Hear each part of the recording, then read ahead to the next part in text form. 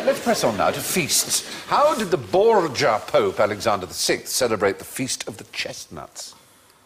There is Alessandro Say. He had someone stuffed with chestnuts. Oh, that's horrible, isn't it? That's a punishment. No, he was pretty. This is a pope we're talking about. Uh, His Holiness the Pope. Actually, no, he had prostitutes, naked prostitutes. He would throw the chestnuts on the floor, and they would grovel after them, picking them up uh, with Oh, their teeth. of course, it's because he was a pope. Because it's sort of exactly. yeah. Oh, he, wouldn't, he wouldn't stuff people with chestnuts. He was a pope. I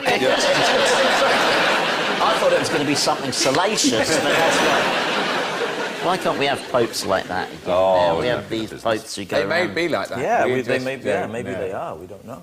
And there was one, Formosus, who made such an enemy of his successor that when his successor was Stephen VI as Pope, had him dug up and put on trial. His body was put on trial.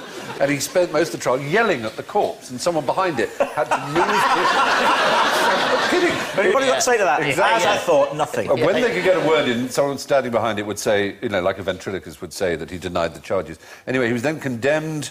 And- death. And, yeah. His three fingers he used to do papal blessings with were cut off his skeleton. Did the man behind go, ow! Oh, not my fingers! Ah, ah! And he was condemned to be reburied in a common grave. But then... No, not a common grave. Yes. No! but I'm then... back in the box? But then Stephen... Stephen... No, get me out of the box! Get back in the book. No, get me out of the book.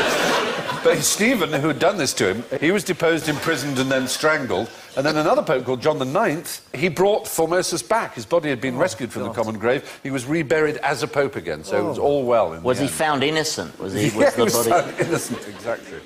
That's a TV series, probably, isn't it? Pope trial. It's a long running, a long running West End Bible. show. With, with, Even Anyway. as I say that, there's a Channel 4 executive out there going, Ooh, yeah. Do you know what? I could see Ray Winstone as a corrupt pope, oh, couldn't you? brilliant. Oi, you slag! Chestnuts on the floor! Forage!